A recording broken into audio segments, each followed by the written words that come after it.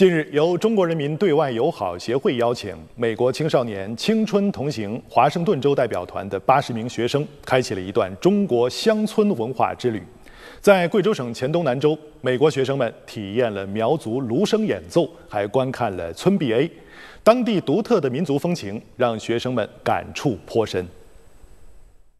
九月十七号，在黔东南州台江县，美国青少年青春同行华盛顿州代表团的学生们体验了苗族芦笙演奏、反排木鼓舞，品尝了酸汤鱼和米酒。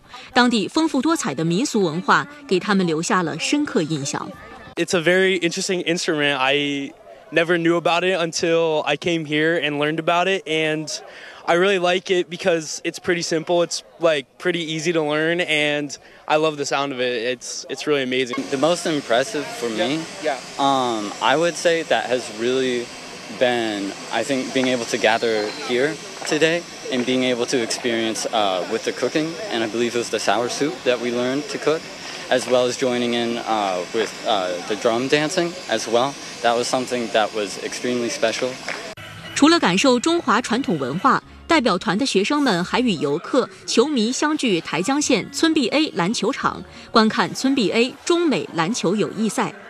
I love the atmosphere, the town, all the basketball environment that you guys have here. It's really interesting. It was a it was a tight game. 这次呢，他们将访问贵州、四川、山东、北京等这些地方，让他们从年轻的时候就能够种下一颗中美友谊的种子，以后。逐渐的能够长成参天大树，为中美关系的健康稳定发展能做出积极的贡献。